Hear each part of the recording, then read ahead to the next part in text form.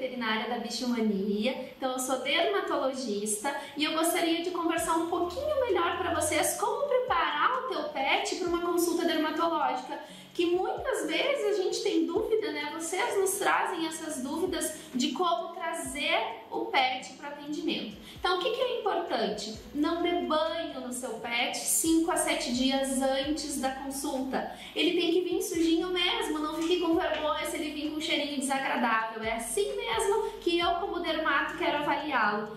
Essa pele me traz muito mais informações, ela fica muito mais fisiológica se eu avaliar ela mais sujinha. Não limpe as orelhinhas do seu pet, é da mesma forma do corpo, eu prefiro essas orelhas mais sujinhas.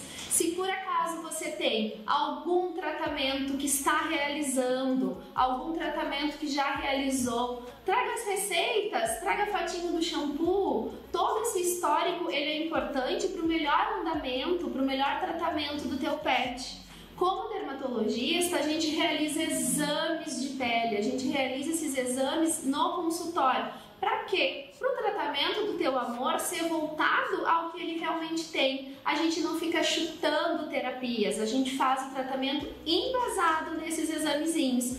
Então, não dê banhos, 5, 7 dias sem banhinhos, não limpe as orelhas e traga todo o histórico do seu amor para o atendimento. A gente aguarda vocês aqui na Bichomania.